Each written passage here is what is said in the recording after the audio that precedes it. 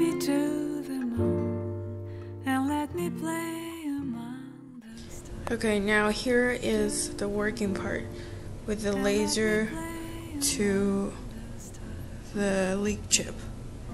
So right now my laser is on, modulated at 100 hertz with the on and off signal. You can't tell, but it is turning the laser on and off. So the scope is measuring the voltage after the transimpedance circuit coming out of the leak chip. So it should be the voltage should be proportional to the photocurrent. So now I'm going to shine my on and off laser light onto the chip. And you can see the photocurrent is being modulated.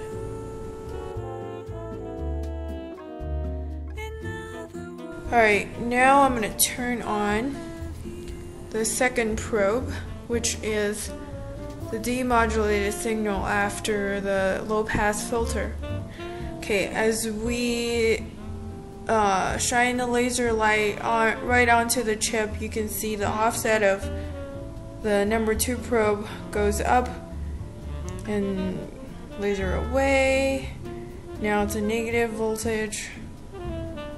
See that? And then the signal after a low pass filter is proportional to the peak to peak um, value of the modulated signal. So now I'm going to shine the lamp light onto the chip right now.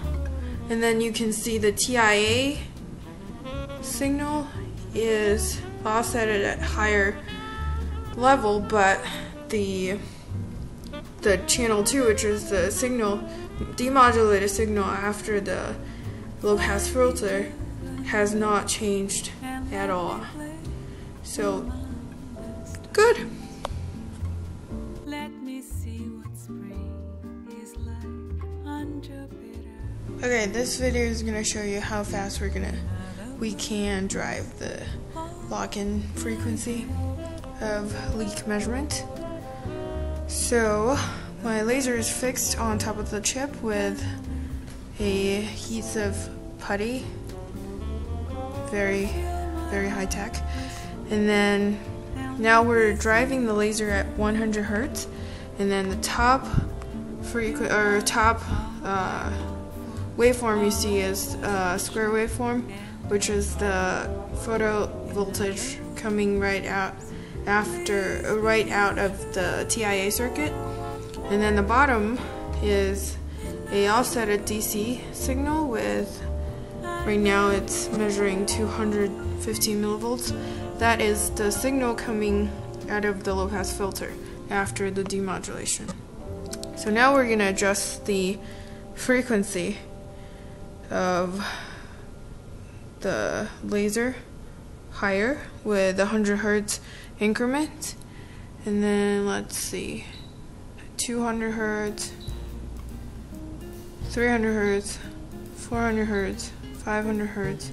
So as you can see the frequency goes up and the uh, top waveform gets little distorted like right here and so that changes this um, the DC signal coming out of the low pass filter.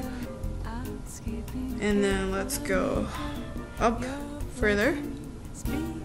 1k that sad seems fine. Now we're going to increment in 1 kilohertz increment. This is 2k you can see the low pass filter signal drop to 150 and then the distortion now is very obvious. So this is 2k let's see if we can go further. So 3k it's now 130 millivolts of at the low pass filter frequency Okay, now we're at 4K, and then the low pass filter signal actually dropped very significantly. So, now let's go back. See? 2K, 1K. 1K is about as far as we want to go. 900. Yeah, one, once you pass 1K goes below, you don't change the DC too much within 5%.